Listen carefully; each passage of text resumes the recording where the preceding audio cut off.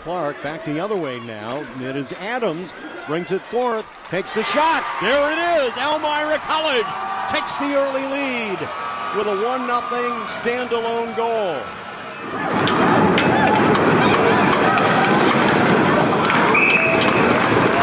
Blue back to Haas.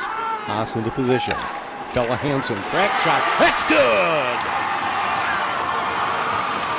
Bella Hanson. After that, it's probably the last bit of excitement that they have. And there's your tying goal! Elmira coming back to get the third goal of their quest.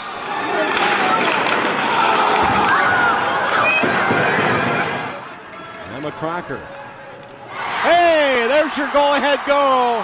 How appropriate that the UCHC Player of the Year gets the go ahead goal for Elmira College. Behind the crease. Crocker feeding it over, turning, bunched. Oh, there's a go ahead goal as Crocker becomes a feeder, and the Eagles will take the lead at 5 3. How about Jess Adams and a hat trick this afternoon?